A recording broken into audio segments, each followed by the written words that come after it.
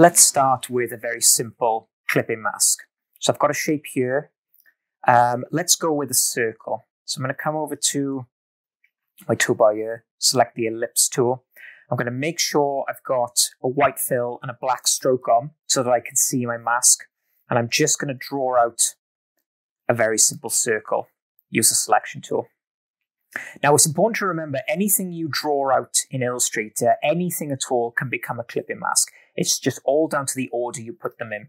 And it's important to remember that the clipping mask needs to be on top of all the other objects you want within the mask. So right now, this is on top. So for example, if I went to range, send to back, right now, that would be at the bottom. So I need this on top of this here to create the mask. So if I right click again, arrange, bring to front, now this is going to become the mask. So I'm going to hold these two over, highlight, right click, make clipping mask. And there you go. That's inside the mask now. Now, if I want to make changes to this, because at the moment, if I try and move these, it moves them together. So if I go back, right click, and go to isolate selected clipping mask, I can then go in then and address the clipping mask as such. So I can make it bigger, I can make it smaller. You can see I can move it. I can kind of do whatever I want with it really. And then when I'm happy with it, then I can come out. Now, if I highlight these again, right click, release clipping mask, that then releases both of these. And you'll see that the original mask will have lost its fill and stroke. So if you want to bring that back, you just kind of go back in and click these and to bring, to bring them back. Okay, so it's important to remember, as I said before, that anything can become a mask. So we can make more complex masks than this. So if I delete this, uh, let's just use, say, the pencil tool. I'll just draw out a very simple wiggly shape like this. Connect that together. Let's add a fill to that so we can see. Bring this over the top of here. Click and drag. Make clipping mask.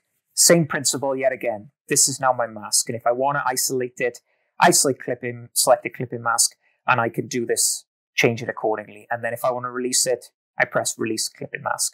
And then there's my original clipping mask, add a stroke and fill to see what it is.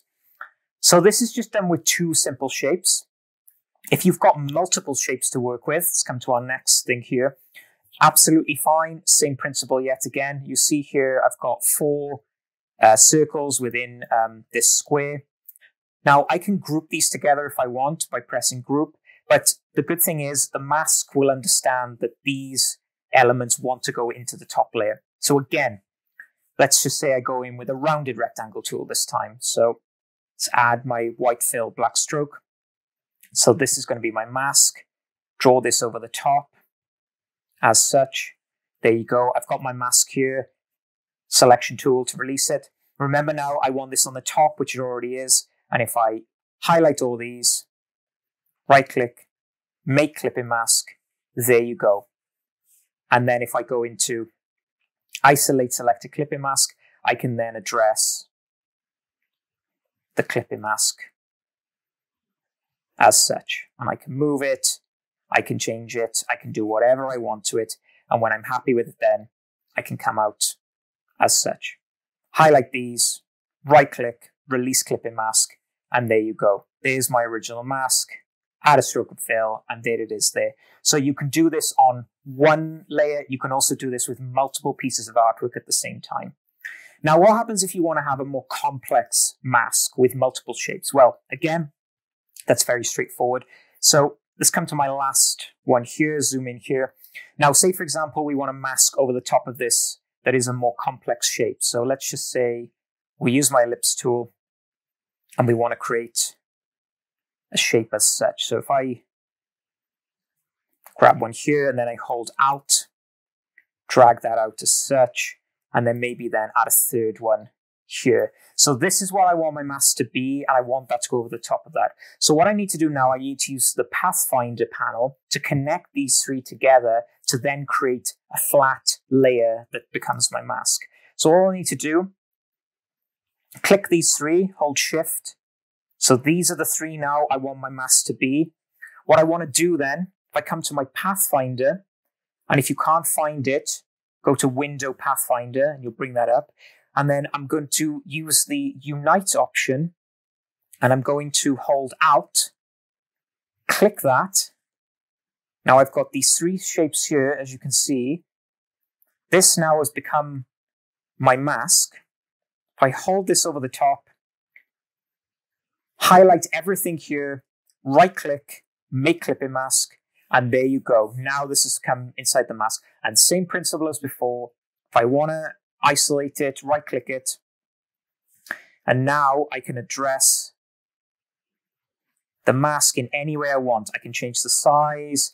I can use the direct selection tool if I want to change the anchor points, change the shape of this, do whatever I want accordingly. And then when I'm happy, then I can come out of isolation mode and I've got my mask there. And if I highlight these as before, release clipping mask, there you go. And then I've got my original mask here and then put that back on. And there you have it. So you've got your original mask there. You can put that to the side or make a duplicate.